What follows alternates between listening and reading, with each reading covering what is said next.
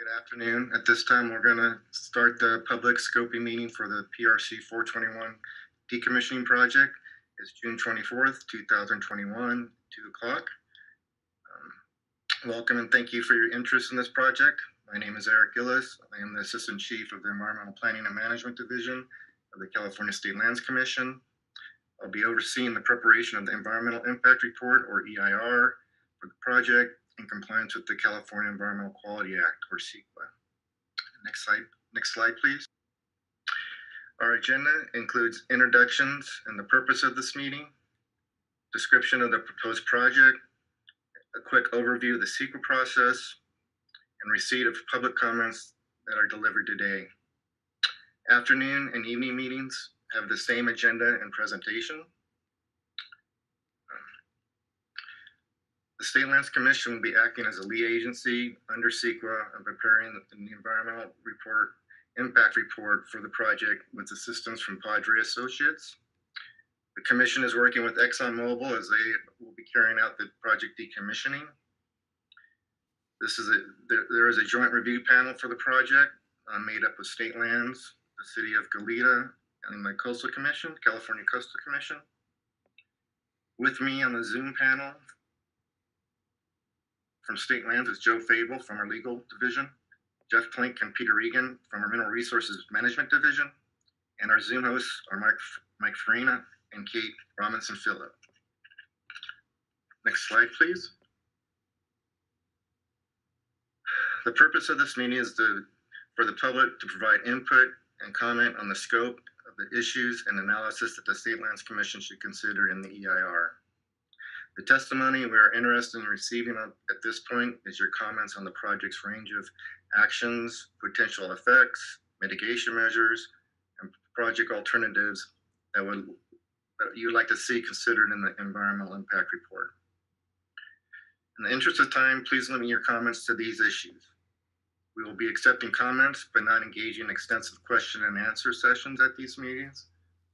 Comments can also be provided in writing by email or by letter um, through July 9th, 2021. I'll have more information on that in a later slide. Next slide, please.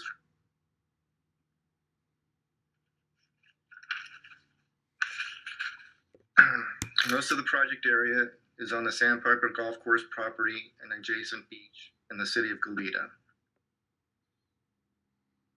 Access would be from the gate at the Ellwood onshore facility off Hollister Avenue and an easement through the golf course to the pier locations.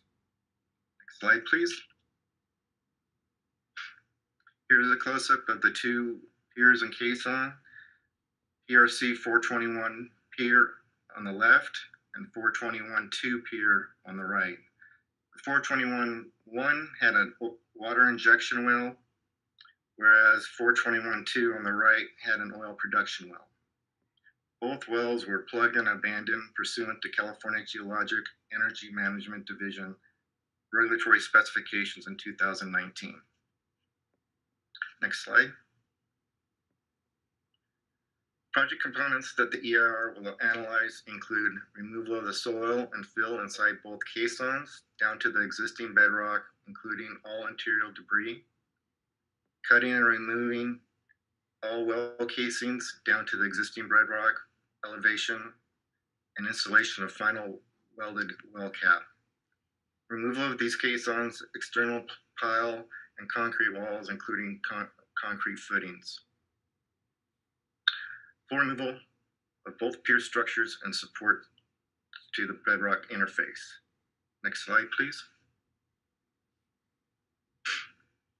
Um, Continuing, decommissioning and removal of the two inch and six inch pipelines beneath the access road, removal of the access roadway and re- supporting revetment, flushing, grouting, and abandonment in place the two inch and six inch pipelines beneath the golf course pipeline corridor to the EOF. And then final site restoration. Next slide, please. The project will require a beach access location. A temporary ramp will be constructed so equipment could get onto the beach for decommissioning activities. In order to build the ramp, access will be required through the emergency access road at the Bacara Resort. As you'll see on this aerial photo to the, to the left, there is the, the access road to the Bacara Resort. Um, It's needed to get on the beach to construct the, the ramp. Um, Once, the ramp is complete, um, for the decommissioning, the ramp would be, um, or the, the car would- um, access no longer be needed. Next slide.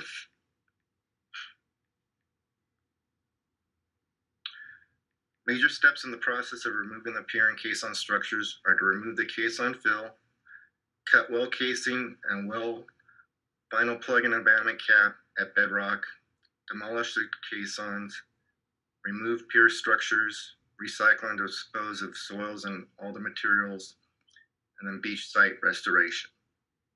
Specific details on the removal of the pipelines, access road, and revetment are currently being developed and will be included in the EIR analysis. Next slide, please. This slide shows a schematic of the EIR process. We are currently in the notice of preparation scoping period with the scoping meeting today. The next steps will be preparing and circulating the draft EIR, where we'll have additional public meetings. Then the final EIR will be prepared and taken to the commission at a public hearing for certification and consideration of the project. We'll present a tentative schedule on another slide. Next slide, please. The contents of the EIR will describe the environmental setting of the project area, disclose the potential environmental impacts of the project and alternatives, propose measures to reduce and avoid significant environmental impacts. The purpose is to provide technical sound information for decision makers to consider in evaluating and considering the proposed project. Next slide, please. Uh, the NOP um, provides a preliminary list of potential impacts to several issue areas, including aesthetics, air quality, biological resources, coastal processes, cultural resources and tribal cultural resources, geology and soils, greenhouse gas emissions, hazards and hazardous materials, hydrology, water quality, land use, noise, and transportation. Other commi- commission considerations include environmental justice and sea level rise. Next slide, please. This slide shows a tentative schedule we're working with at this point. We're currently in the 30-day public review that started June 8th of earlier this month. Uh, comments are due July 9th, 2021. Um, following the NOP, we'll release the draft EIR for a 40-day public review period. With the public's meeting during that time, we anticipate releasing in September and then propose um, commission action and final EIR in the project in December at a public hearing. Deconstruction is proposed for spring and summer of next year, 2021. It's anticipated that the project construction would last approximately six months to, de- to remove um, the structures. Next slide. Before we open it up for public comments, here are helpful comment um, scoping comments we'd like to receive. Identify the location extent of environmental impacts. Recommend issues to be addressed in the EIR. Recommend alternatives that would avoid or reduce impacts of the proposed project. Next slide. And now I'll turn it over to Katie. She'll give instructions and call on speakers, and so we'll um, take public comments at this point. Okay, for our first commenter, we have Sean Anderson.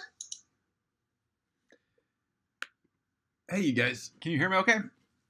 Hi, Sean. Yes, we can hear Okay. you. Cool. Thank Great. you. Thanks. Yeah. So thanks so much. This uh, this looks great. I guess uh, m- um, my first comment was just be about timing, and I'm sure you guys already thought about this, but with the six month duration, that that raises some issues with shorebird migration and stuff of that nature. And so, um, one, I guess I'm, I'm curious as to why the spring summer as opposed to a fall winter. Um, I understand the logistics is probably easier, less winter storms and such, but but um, there might be some ability to reduce potential impact by by shifting the the time. And then the other comment is, um, I think uh, um, I'm not entirely sure if this um, draft EAR is, is, the right venue, but but as much as we can. Um, uh, see if we could maximize the ability of this um, removal as a type of case study. So currently, managed retreat is, is obviously a, a, a hot topic in some communities oftentimes we're we're sort of very pressed because of a crisis situation. This is less so of a crisis crisis situation. We have a bit more of a sort of flexible time. So I'm just curious if we could give some some thought to maybe some ways to test some of the approaches to manage retreat and to dealing with um, uh, uh, this process. And so maybe that's a kind of thing where the, where the construction is designed in phases as opposed to like one six month. Maybe there's a way to break it up into two or three month segments or something of that nature. Um, and and to use this as a test bed to evaluate other approaches to manage retreat for other areas that are more controversial or problematic. Um, uh, and then lastly, I, I just am, am, curious as to what the the mitigation measures that you guys are thinking about. Are you, are you thinking about living shorelines, things of that nature, dune dune type of approaches, or rather just simply um, returning sediment to the the same um, elevation as uh, as if those caissons weren't there. So uh, real quickly, that those are my my suggestions or comments, and uh, thank you for this presentation. Thank you, Sean. Do we have any other members who would like to provide comment? Um, if so, please raise your hand. Okay, and we do have um, one chat that was submitted, so I will read this into the record. Um, the chat is from Jacqueline Rosa, and it says, one of the potential impacts mentioned were those to tribal cultural resources. How do you plan to connect with local tribal nations to communicate and mitigate potential impacts culturally important to their communities? Okay, let's go ahead and proceed with the, the next slide, please. So written comments um, be received by Friday, July 9th, 2021. The preferred option is to send comments via email. Um, email address ceqa.comments at slc.ca.gov. Or, and please write in the subject line PRC 421 decommissioning project NOP comments. Or you could send via mail to California State Lands Commission, attention me, Eric Gillies, at 100 Howe Avenue, Suite 100 South, Sacramento, California, 95825. And then in your comments, please be sure to include your name and contact information so we could add to the project notification list. In the meantime, please contact me with any concerns, questions, or requests for notification. Thank you for your interest in this project, your comments, and your attendance.